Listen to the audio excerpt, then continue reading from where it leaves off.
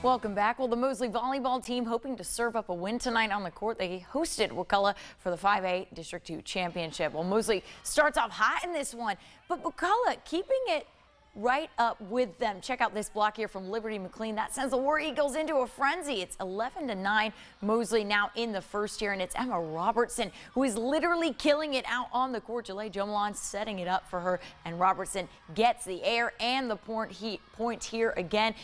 It puts Mosley on an eight point streak. Wakulla doesn't get many more opportunities in this first set here. The Dolphins too much on a roll. They win the first set 25 to 14, but the War Eagles get the power back. They win the next three sets. So the War Eagles win the district championship 3 to 1 over the Dolphins.